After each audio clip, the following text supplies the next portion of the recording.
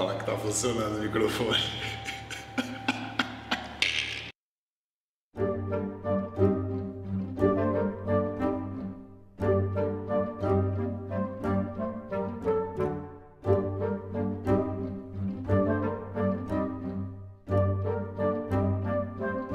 Conta pra mim, o que é o Osmos pra você?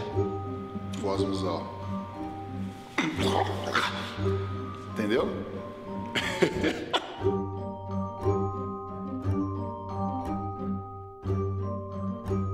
Tem a ver com essa máscara? Tem a ver com essa máscara, porque essa máscara ela é, ela é praticamente nada, né? Ela é branca e preta. Ao mesmo tempo, com essa cara branca e preta, pode ficar feliz, pode ficar triste, pode ficar neutro de novo, pode ficar piedoso. Isso é osmos. Você estar em uma forma e você se livrar dessa forma. Ou você estar em uma forma e você não saber que a sua forma é aquela.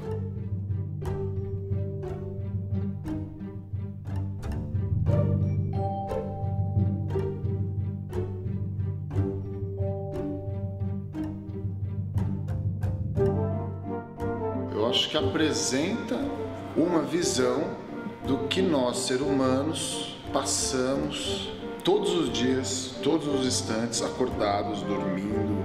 Às, às vezes a gente não para para pensar o que acontece na cidade, como que esse ser humano é inserido na cidade, o que, que essa cidade provoca nesse ser humano. Quando a gente nasce, a gente é clean, a gente é puro, a gente é nada.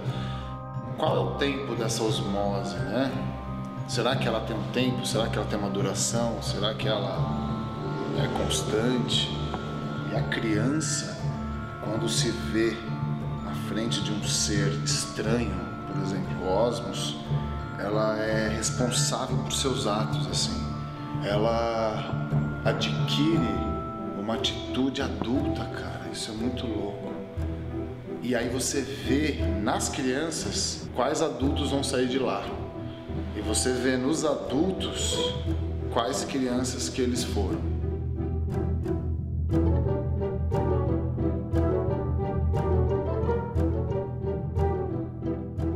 É que vocês se conheceram então? Fui conhecer o trabalho do Labore na virada cultural que eu pirei do mapping, né? nem existia mapping ainda.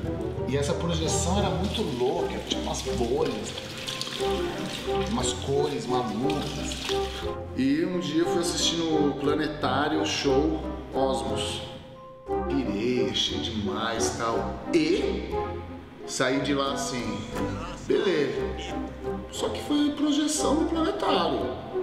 E aí, como é foi? Nós. Exato, foi. A gente tá na terceira versão dele, que na verdade é, uma, é um resultado do amadurecimento, né? Então a gente começou fazendo uma coisa no planetário que era simplesmente uma projeção, é, mas feita especificamente para o planetário, era uma projeção 360. Depois disso a gente manteve o conceito e fez uma uma primeira versão com essa história do iPad iluminando ao vivo, mas aí não era o Montanari ainda, eram os músicos, então os músicos é que eram o, carro-chefe, eles é que eram os personagens. E aí passou isso, a gente sentiu a necessidade de pôr músico para fazer música, os VJs fazendo a imagem, e aí abriu essa brecha aí que, que precisava ser preenchida. E era uma performance. Se era uma dança, se era malabarismo, se era mímica, a gente não sabia.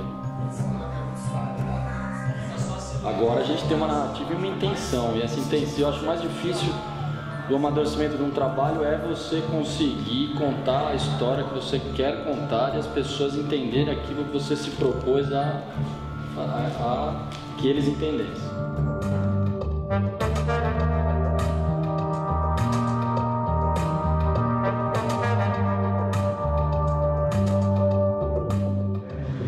Perceber que ela, é- o espetáculo não tá. Ele nunca vai estar pronto. Ele nunca vai. Exatamente. Nunca vai estar pronto. Nem, nem existe a intenção de finalizar ele. É, Não, ele está pronto para começar, mas ele não está finalizado.